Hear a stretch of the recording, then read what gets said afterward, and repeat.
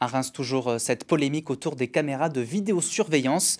En 2021, la municipalité s'associe à Thales pour tester une intelligence artificielle. Elle est censée aider la police dans son travail d'enquête, à mieux identifier les criminels, mais elle peut aussi signaler les regroupements de personnes sur la voie publique. L'utilisation de cette technologie pose donc question, euh, d'autant plus que la mairie n'a pas prévenu ses administrés. Thomas Chama, Clément Pravaz. Les Rémois ont-ils été surveillés pendant des mois? Par une intelligence artificielle. Grâce à son réseau de caméras de vidéosurveillance, la ville a expérimenté un logiciel pour faciliter le travail des policiers. Pas de quoi inquiéter tous les Rémois, très divisés sur le sujet. Je pense que c'est plutôt une bonne chose, il faut faire confiance justement aux nouvelles technologies. Plus il y a de surveillance et plus on se sent en sécurité. Il faut une limite quoi. Une certaine limite pour tout le monde quoi. Un peu de la liberté puis un peu de surveillance. On espère qu'ils ciblent pas les gens, que c'est pour tout le monde, pareil. Dans cette vidéo promotionnelle, le logiciel Savary développé par Thales permet de reconnaître les plaques d'immatriculation des voitures pour fluidifier le stationnement.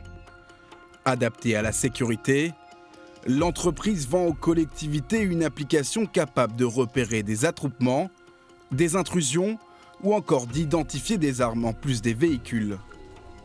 Une fois que tu auras terminé euh, la vérif de tes panneaux, tu pourras te porter ce de euh, place Jean Moulin pour euh, de la vente à la sauvette. Au centre de supervision urbain, où sont collectées les images des 245 caméras municipales, 21 agents se relaient pour analyser les enregistrements.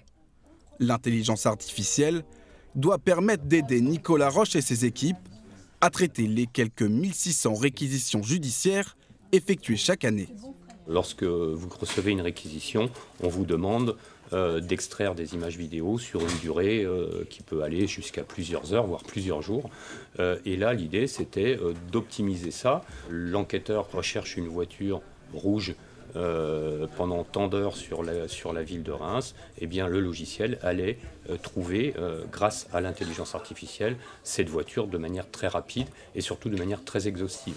Élu d'opposition à la mairie de Reims, Léo Tiburce avait pointé du doigt, lors d'un conseil municipal, les dérives de l'utilisation d'un tel logiciel.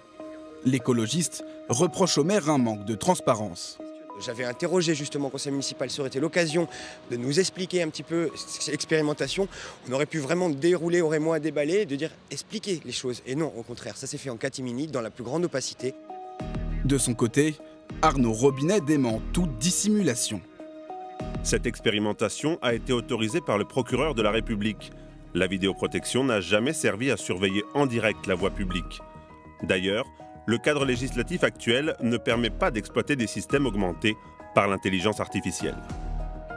Cinq mois après l'avoir débuté, Thales a décidé de mettre fin à l'expérimentation de son logiciel. La ville prospecte actuellement pour en trouver un nouveau.